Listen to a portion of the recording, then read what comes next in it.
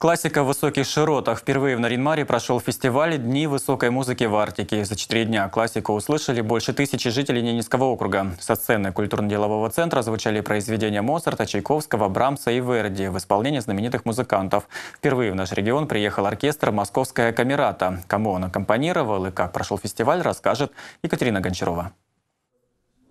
Еще перед открытием фестиваля его художественный руководитель Дмитрий Коган и глава региона Игорь Кошин встретились с журналистами. Говорили о развитии культуры и, естественно, о музыке. Известный скрипач сообщил, что в скором времени в Наринмар приедет директор Уральского музыкального колледжа Эльвира Архангельская. Она готова обсудить условия сотрудничества учебного заведения с нашим округом. Такой союз, по словам музыканта, поможет одаренным детям реализовать себя и постоянно повышать квалификацию преподавателей музыки. Вашу музыкальную школу возьмут э, под, что называется, крыло одно из там крупнейших музыкальных детских заведений России, и все будут и педагоги, и студенты, и все будет нормально. Вот, вот так. Поэтому, наверное, просто нам больше нужно делать и думать о том, что мы можем сделать сами, не дожидаясь, пока что-нибудь э, федеральные министерства нам принесут. В свою очередь Игорь Кошин отметил, что в сфере культуры регион ждут изменения. Потребности жителей меняются, и им нужно соответствовать. Говорили о том, что сегодня очень много лупка, о том, что сегодня очень много э, хороводов, о том, что общество меняется, и у людей возникает э, потребность э, в классической музыке, в высокой музыке. именно том числе и благодаря этому э, сегодня мы проводим этот фестиваль. В преддверии открытия фестиваля Игорь Кошин вручил Дмитрию Когану удостоверение общественного советника по культуре в Ненецком округе.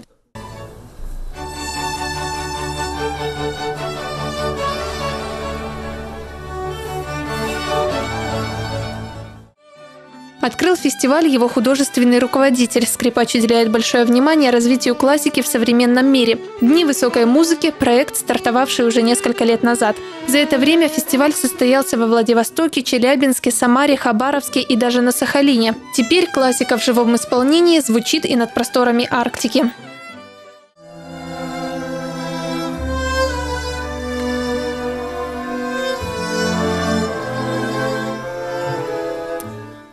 Репертуар фестиваля Дмитрий Коган подбирал лично. Одним из условий было показать все многообразие классики. Именно поэтому в программе появились оперные певцы. Зрители услышали сопрано Екатерины Смолиной. Ее репертуар обширен – от музыки раннего барокко до сочинений современных композиторов.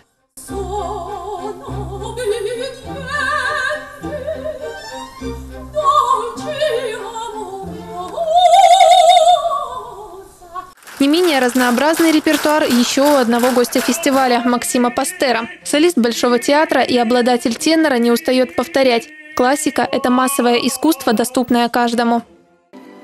Везде, везде очень хорошо принимают. Это, знаете, как досужие домыслы. То, что э, классическое искусство, как бы оно для избранных нет. Нет. Ни в коем случае это это также нравится обычному человеку. Аккомпанировал солистом и не только оркестр «Московская камерата». Этот коллектив отличается своим неповторимым исполнительским стилем, яркостью звучания и профессионализмом. Его игру и весь концерт публика оценила бурными аплодисментами. мы в восторге. Вообще такое впечатление, прям все на одном дыхании. Даже, честно говоря, вот не ожидали, что такие получим впечатления, очень яркие эмоции переполняют нас. Поэтому большое спасибо организаторам. Очень, очень понравилось мне и моим коллегам. Вообще концерт был замечательный. Первый раз в моей жизни. Просто моя мечта сбылась. Второй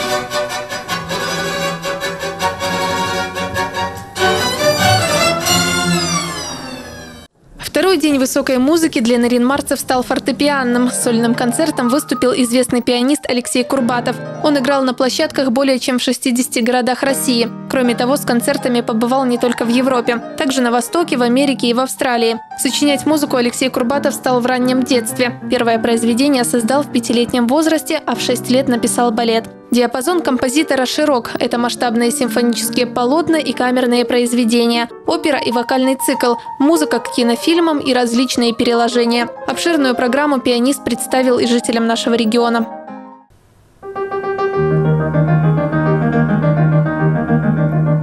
Я э, постарался составить ее из э, произведений э, различных авторов, которые показывали бы развитие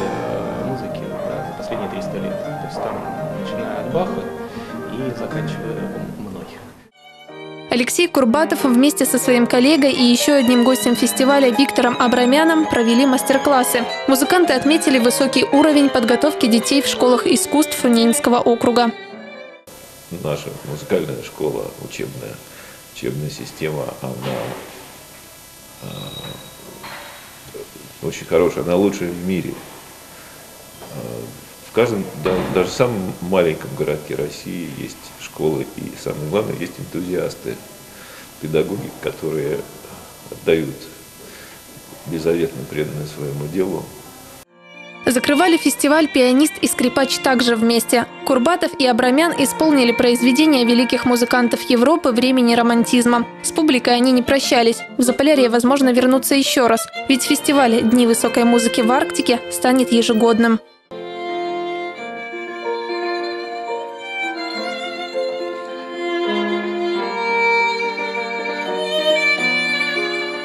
Екатерина Гончарова, Александр Дуркин, Роман Делимарский, Дмитрий Лукевич, Владислав Носкин. Телеканал «Север». Программа «Итоги недели».